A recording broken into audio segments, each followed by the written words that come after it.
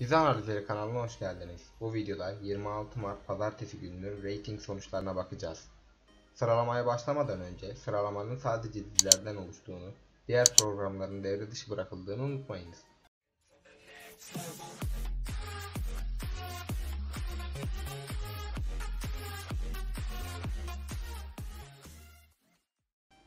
...26 Mart Pazartesi günü reytinglerin total sıralamasının 5. sırasında 8. gün bulunmakta.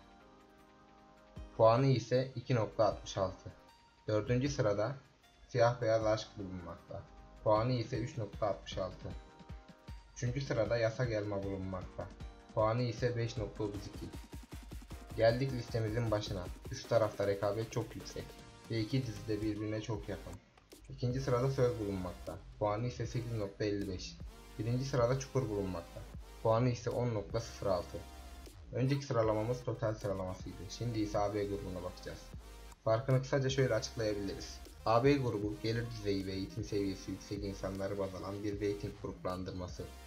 AB grubunda sıralamada bir değişiklik yok. Geçen haftaya göre reyting artan diziler Çukur ile Yasa Gelme olmuş. Videonun sonuna geldik. Videoyu beğendiyseniz beğenmeyi, diğer videolardan haberdar olmak için kanalımıza abone olmayı unutmayınız.